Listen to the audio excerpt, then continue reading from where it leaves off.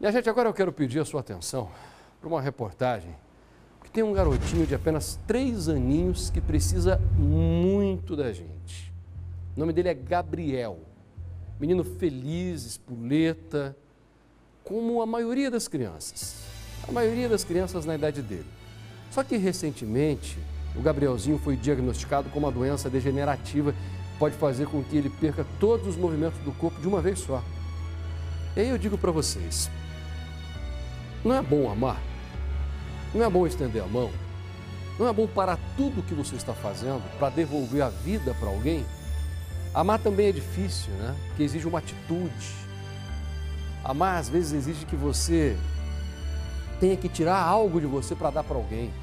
Mas eu estou pedindo em nome do Gabriel porque a família não tem condições. Nós aqui da Rede Márcia estamos ajudando, mas não é suficiente.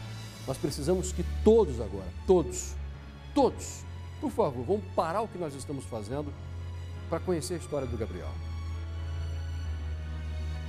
A timidez vai embora quando o Gabriel vê a nossa câmera. Ele mandou até beijinho. Jogar bola com a mãe é uma das brincadeiras prediletas do menino de 3 anos. É em momentos como esse que Bruna sente que o filho fica mais feliz, se diverte e esquece que passa por um período difícil da vida. Em setembro do ano passado, Gabriel passou por exames porque a mãe já estava desconfiada que algo estava errado.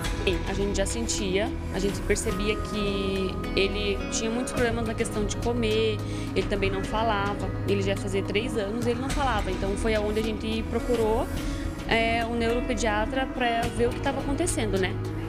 Os resultados trouxeram a pior notícia.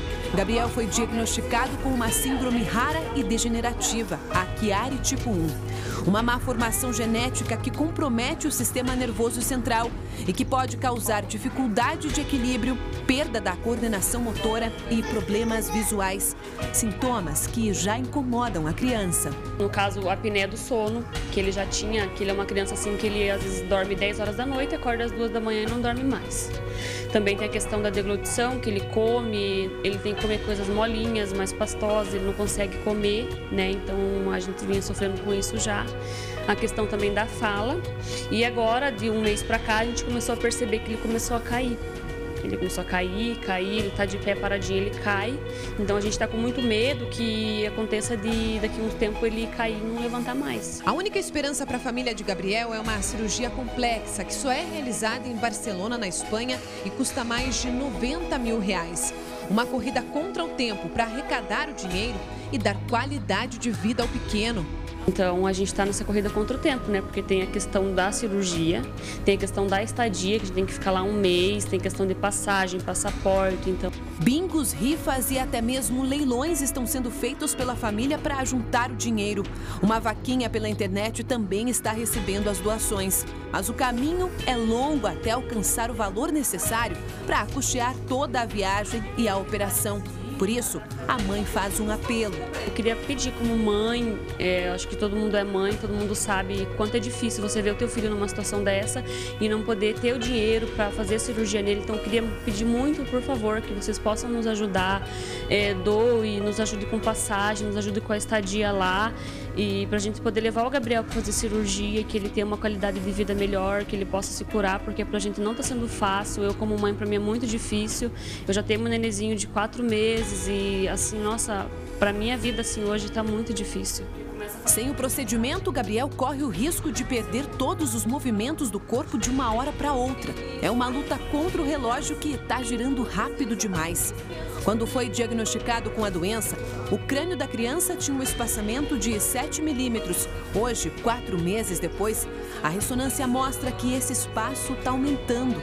Eu deito e peço muito a Deus para que não aconteça dele ficar sem andar, dele ficar sem falar, porque o meu maior sofrimento hoje é esse, né? Eu dormi com a incerteza de que eu vou acordar no outro dia e meu filho ele não vai estar tá andando, né? A gente está sofrendo muito, acho que Deus tem me dado muita força, porque se não fosse Deus, eu não sei se eu aguentaria toda essa situação, né? Como mãe, acho que Deus que está me ajudando a ser forte e lutar pelo Gabriel, porque ele precisa muito de mim.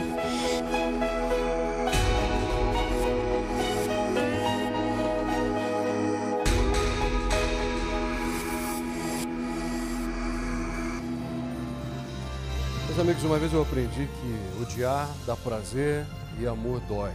Porque quando você odeia alguém, você vê essa pessoa se arrebentando, vamos falar de um ladrão que é assassinado, um estuprador que é assassinado, não dá um alívio. Mas o amor exige uma atitude. E a gente vê tanto ladrão se dando mal. Vamos fazer diferente hoje? Vamos exercitar o amor? O amor. Porque a família precisa de 150 mil reais. 90 mil custa a operação, mais os gastos com essa viagem. Até agora, apenas 12 mil foram arrecadados.